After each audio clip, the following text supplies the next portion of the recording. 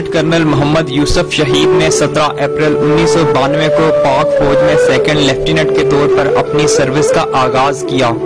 جمعے کی صبح لیفٹیننٹ کرنل محمد یوسف اورکزئی کے علاقے میر علی سے گزر رہے تھے کہ بارودی سرنگ پھٹنے سے چھ اہلکاروں سمیت شہید ہو گئے۔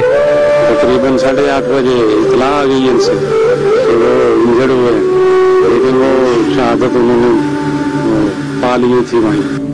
محمد یوسف شہید تین بچیوں کے باپ اور اپنی ماں کے اکلوتے بیٹے تھے۔ مجھے فخر ہے بابا کو پر کہ بابا نے پاکستان کے لیے اپنی جان دی ہے۔ میں فوج میں سلام کرنی ہے۔ اللہ تعالیٰ سارا ہر لے بچن سلامت رکھے۔ ہر لے بچن اپنی امان چ رکھے۔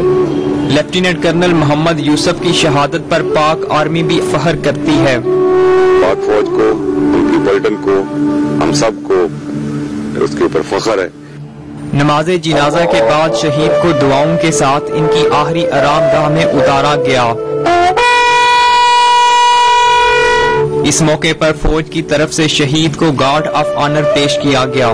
لیفٹیننٹ کرنل محمد یوسف شہید کی قبر پر صدر، چیف آف آرمی سٹاف اور کور کمانڈر کی طرف سے پھولوں کی چادریں بھی چڑھائی گئیں۔ پوری قوم پاک فوج کے ان سپوتوں کی دلیری اور شجاعت کو سلام پیش کرتی ہے۔ جنہوں نے اس دھرتی ماں کی عزت اور سلامتی کی خاطر اپنی جانوں کا نذرانہ پیش کیا ہے۔ Bakht Nawaz Express News Sargodha.